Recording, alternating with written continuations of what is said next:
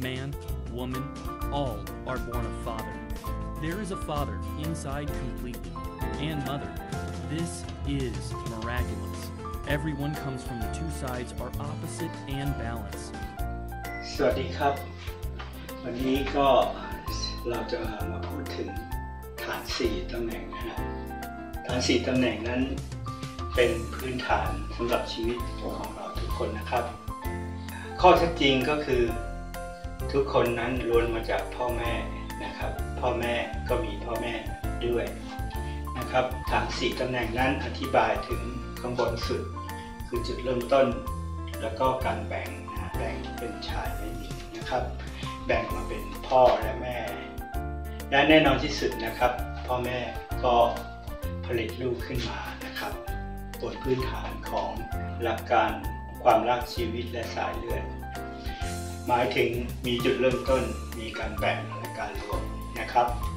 ในฐาน4ตำแหน่งนี้มีอะไรนะครับ ถ้าเป็นภายในก็จะเป็นความรักนะครับ ถ้าเป็นภายนอกปฏิกิริยาทางร่างกายนะครับที่ซึ่งทำให้เกิดกระบวนการในการสร้างสรรค์ ในฐาน4ตำแหน่งนี้จะมีปฏิกิริยา 12 ทิศทางนะครับ จากบนมาสู่ล่างนะครับ จากล่างไปสู่บน จากซ้ายมาสู่ขวา ขวาไปสู่ซ้ายนะครับ จากบนลงล่างนี่ยังมีนะครับ รวมกันแล้วทั้งหมดนะครับ มีปฏิกิริยา 12 ทิศทางอยู่ในฐาน 4ตำแหน่งนี้ นี่คือหลักการแห่งการสร้างสรรค์ เราทุกคนนั้นเกิดมาจากหลักการแห่งการสร้างสรรค์เหล่านี้ทั้งสิ้นนะครับ นี่คือความแท้จริงยิ่งยวดที่มนุษยชาติละเลยนะครับ ยกตัวอย่างเช่นในอดีตมันมีแรงโน้มถ่วง ไม่ทราบนะครับว่ามันมีแรงโน้มถ่วง เรารู้ว่าผลไม้นั้นตกดิน เท่านั้นแต่เราไม่รู้ว่ามันมีแรงดึงดูดจากศูนย์กลางนะครับทำให้เกิดการร่วงหล่นของผลไม้ หรือสิ่งต่างๆก็ตามนะครับ จะถูกดูดไปสู่ศูนย์กลางนะครับ ในหลักการในฐานสี่ตำแหน่งนี้นะครับ ศูนย์กลางก็คือ จุดเริ่มต้นนั่นเองนะครับ จุดเริ่มต้นการแบ่งการรวม เราเคยเรียนหลักการกันมาแค่นี้นะครับ แต่เราไม่ได้คิดลึกซึ้งไปกว่านั้นอีกนะครับ แท้จริงนะครับ ฐานสี่ตำแหน่งนั้น เขียนได้เป็นรูปนี้นะครับเห็นไหมฮะทุกคนมาจากพ่อแม่ พ่อแม่ก็มาจากพ่อแม่ ก็คือจุดเริ่มต้นการแบ่งนะครับ แบ่งมาเป็นผู้ชายผู้หญิง แล้วก็มีการรวมนะฮะ ท้จริงแล้วจุดเริ่มต้นมันไม่ใช่แค่ มีจุดใดจุดหนึ่ง จุดเดียวเท่านั้นมันมีมากมายมหาศาลนะฮะมีกระบวนการมากมายมหาศาลที่เป็นจุดเริ่มต้นของคนคนหนึ่งตั้งแต่การสร้างเอกภพมาเลยนะครับ กระบวนการต่างๆนั้นมีมากมายมหาศาลเลยก่อนที่จะมีเราที่มีชีวิตอยู่หนึ่งคนในเวลาปัจจุบันนี้ นี่คือสาระสำคัญของหลักการในการสร้างสรรค์ นี่คือคุณค่าที่แท้จริงที่เราได้รับมาจากเอกภพนี้ ในภาพนี้นะครับ เราจะเห็นมือข้างบนนะฮะแล้วก็มือข้างล่าง มือข้างบนนั้นเปรียบได้กับอาณาจักรสวรรค์นะครับ มือข้างล่างนี้เปรียบได้กับโลกนะครับ เรานะครับได้รับชีวิตมาก็คือมีผู้ให้นะครับ โดยผ่านกระบวนการต่างๆเหล่านั้น และเราก็ได้รับชีวิตมานะครับ นี่คือคุณค่าของเอกภพเราจะเห็นได้ว่าชีวิตของเราแต่ละคนนั้นมีคุณค่าเทียบเท่าเอกภพเลยนะครับ เป็นผลลัพธ์ที่เกิดขึ้นจากกระบวนการทั้งหมดในเอกภพนี้นะครับ ในภาพนี้นะครับจะเห็นฐานสี่ตำแหน่งนะฮะซึ่งฐานสี่ตำแหน่งนั้นเกิดขึ้นบนพื้นฐานของความรัก ความรักก็คือคุณค่าภายใน ส่วนพลังงานนั้นก็คือคุณค่าทางฝ่ายภายนอกทำให้เกิดกระบวนการในการสร้างสรรค์สิ่งต่างๆขึ้นมานะครับแท้จริงแล้วไม่ใช่เพียงแค่มนุษย์เท่านั้นนะครับสรรพสิ่งทั้งมวลก็เกิดขึ้นมาจากพื้นฐานนี้ทั้งสิ้นนะครับ ขอให้เราดูอนุภาคมูลฐานนี้กฎของอะตอมนี้นะครับ ก็จะเหมือนกับกฎของครอบครัวนะฮะ ศูนย์กลางก็คือจุดเริ่มต้น ศูนย์กลางของอะตอมนี้มีสองอย่างอยู่ข้างในนะครับ มีนิวตันกับโปรตอนนะครับ นิวตันก็เป็นจุดเริ่มต้นที่อยู่ด้านบนสุดนะฮะ ส่วนโปรตอนก็คือตรงกลางนะฮะ เปรียบเทียบภาพนี้กับเปรียบเทียบกับโปรตอนนี้นะครับ จุดเริ่มต้นข้างบนน้นก็คือนิวตัน รองลงมา ก็เป็นโปรตอนและก็อิเล็กตรอน ซึ่งโคจรอยู่รอบๆอนุภาคมูลฐานนี้ นี่คือพื้นฐานของครอบครัวฮะแท้จริงแล้วครอบครัวนั้นเกิดขึ้นมาตั้งแต่เริ่มแรกเลย ตั้งแต่ปรากฏการณ์บิ๊กแบงนะฮะ อันนี้คือ พื้นฐานของอาณาจักรสวรรค์อันนี้คือรูปแบบที่อาณาจักรสวรรค์ใช้ในกระบวนการในการสร้างสรรค์นะครับ ซึ่ง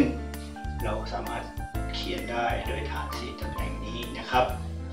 ฐานสี่ตำแหน่งนี้คือหลักการในการสร้างสรรค์ ซึ่งถูกสอนโดยดรซันมิมุงนะครับ เพียงแค่ฐานสี่ตำแหน่งนี้เราสามารถที่จะตอบคำถามได้เลยนะครับ ตอบทุกคำถามของชีวิตได้เลย แท้จริงแล้วทุกสิ่งทุกอย่างนะครับ มาจากฐานสี่ตำแหน่งนี้ ซึ่งอยู่ในรูปแบบของอะตอมนี้นะครับ แล้วก็เขียนได้เป็นนะครับฐานสี่ตำแหน่งที่มีรูปหัวใจนะครับ ในสีทิศทางนั้นนะครับ นี่คือสิ่งที่เกิดขึ้น แล้วก็รูปผลไม้นี้คืออะไร รูปผลไม้นี้หมายถึง ผลนะผลที่เกิดขึ้นจากกระบวนการทั้งหมดนะครับ ผลลัพธ์ที่เกิดขึ้นนะครับ ในผลไม้นั้นมีอะไร ในผลไม้นั้นก็มีเมล็ด ดังนั้นผลจึงกลายเป็นเหตุด้วยนะครับ ผลไม้ลูกหนึ่งเป็นผลก็จริง แต่ผลไม้ลูกนั้นก็เป็นเหตุด้วย เป็นเหตุทำให้เกิดการสร้างสรรค์ใหม่ หรือเอานำไปปลูก เพื่อที่จะเป็นต้นไม้ต้นใหม่ขึ้นมา แล้วก็ให้ผลต่อๆไปนั่นเองนะครับ ดังนั้นความหมายของผลไม้จึงหมายถึงผลลัพธ์ของเอกภพนะฮะผลลัพธ์ที่ให้ชีวิตเรามา เราเกิดมาจากผลไม้ผลนี้นะครับ ในหนังสือไบเบิลกล่าวว่าอาดัมและเอวากินผลไม้ ผลไม้ที่เขากินนั้น เขากินด้วยตัวเขาเองหรือไม่ แท้จริงแล้วเขากิน เพราะว่าถูกมารร้ายนั้นล่อลวงให้มนุษย์ชายหญิงคู่แรกนั้นกินผลไม้ และผลลัพธ์ก็คือ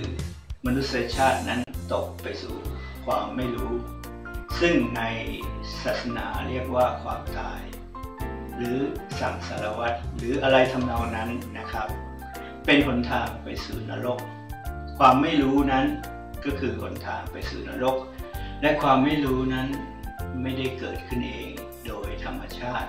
แต่เกิดขึ้นโดยการกระทำดังนั้นมารร้ายจึงมีอิทธิพลเหนือมนุษยชาติมาจนถึงปัจจุบันนี้นะครับ นี่คือข้อเท็จจริง ท่านจะต้องจดจำภาพต่างๆเหล่านี้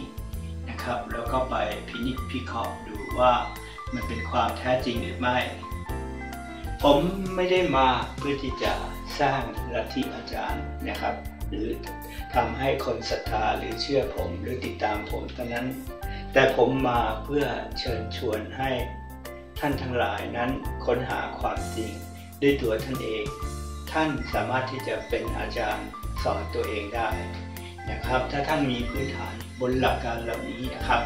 บนฐานสี่ตำแหน่งนี้นะครับแล้วก็ส่วนประกอบต่างๆของหลักการ ซึ่งเขียนเป็นรูปผลไม้นะครับ ผลไม้นี้ยังเป็นสัญลักษณ์แทนหัวใจ หมายถึงแทนความรักนั่นเองนะครับ ท่านจะต้องจดจำภาพเหล่านี้และกลับไปพินิจพิเคราะห์ด้วยตัวท่านเองนะครับ และแล้วท่านก็จะกลายเป็นอาจารย์ผู้ที่สอนตัวเองนะครับ คุณพ่อซันมิงมูลนะครับ บอกให้เราพยายามที่จะค้นหาความแท้จริงด้วยตัวเราเองนะครับ ท่านไม่ได้สอนให้เราเชื่อท่านเท่านั้นนะครับ แต่ท่านสอนให้เราสามารถที่จะค้นหาความแท้จริงของชีวิตเราโดยผ่านตัวตนของเราเองนั่นเองนะครับ หรือท่านจะจดจำภาพนี้ก็ได้นะครับ ภาพนี้ จะชี้ให้เห็นว่าทุกคนนั้นมาจากพ่อแม่ พ่อแม่ก็มาจากพ่อแม่นะครับ เมื่อคูณสองย้อนกลับไป เราจะปรากฏว่า ความรักชีวิตและสายเลือดนั้น ประกอบกันขึ้นมากมายมหาศาล และเรา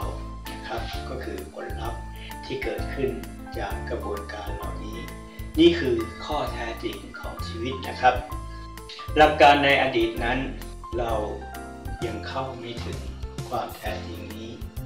นะครับ จนกระทั่งคุณพ่อสันเมมูลมานะครับ ก็ได้เปิดเผยหลักการในการสร้างสรรค์ให้เราได้เข้าใจ และในส่วนนี้ผมก็เอามาสรุปทั้งหมดเลยนะฮะมาสรุปหลักการทั้งหมดเลย รวมถึงกระบวนการในการแก้ไข เพื่อที่จะทำให้ท่านทั้งหลายนั้น มองเห็นภาพความแท้จริงของชีวิตของตนเองนะครับ และ ก้าวเดินไปอย่างถูกต้องนะครับ มันไม่มีภาพใด ๆ ที่จะอาจจะมีนะครับ แต่เราจะต้องร่วมกันค้นหาต่อไปในอนาคตนะครับอาจจะค้นพบคุณค่าที่ดีกว่านี้ หรือค้นพบหลักการที่ดีกว่านี้ แต่ทั้งหมดนั้นไม่ได้ขัดแย้งกัน ทั้งหมดนั้นจะต้องไปในกระบวนการเดียวกัน ไปในทิศทางเดียวกัน และมีเป้าหมายปลายทางที่เดียวกัน ก็คืออาณาจักรสวรรค์นั่นเองนะครับอาณาจักรสวรรค์ที่สร้างสรรค์สิ่งต่างๆ ขึ้นมา เพื่อที่จะทำให้เราเกิดนะฮะดังนั้นมนุษยชาติทั้งมวลจึงกล่าวถึงอาณาจักรสวรรค์นะครับ นั่นเป็นเป้าหมายของชีวิต แต่ในอดีตนั้นเป้าหมายนั้นไม่เคยชัดเจน ราะว่าเราไม่ได้เข้าใจถึงพื้นฐานของชีวิตจริง ๆ นั่นเอง เมื่อเราเข้าใจพื้นฐานของชีวิตจริง ๆ แล้ว เราก็จะสามารถที่จะเข้าใจได้ว่าอาณาจักรสวรรค์นั้นเป็นเช่นไรนะครับ เมื่อมนุษยชาติเข้าใจความจริงเหมือนกันทุกประการแล้วนะครับ มนุษยชาติก็จะเดินในทางเดียวกัน เพื่อที่จะไปสู่จุดหมายปลายทางของชีวิตในโลกหน้า ก็คืออาณาจักรสวรรค์นั่นเองนะครับ ขอบคุ all ณครับ peoples and all religions. If you find someone be your spouse, you should understand your basics, which have the same and the difference between humans. Man, woman, all are born of father. There is a father inside completely, and mother. This is miraculous. Everyone comes from the two sides are opposite and balanced. Great amount, equal, the same conclusion. Use the same principle. If this equation is absolute, evolutionary theory is false. This is where the great ancestors of all people are in common. If all and every religion can be understood, this pedigree model humanity will be rescued from all suffering immediately. This is the solution to the problem of humanity, the easiest. Please remember this model. Then everyone will discover true happiness together forever because everyone is born of the highest miracle like this. We all have to be grateful. From now, all couples will have to live. This is the first standard. All peoples and all religions.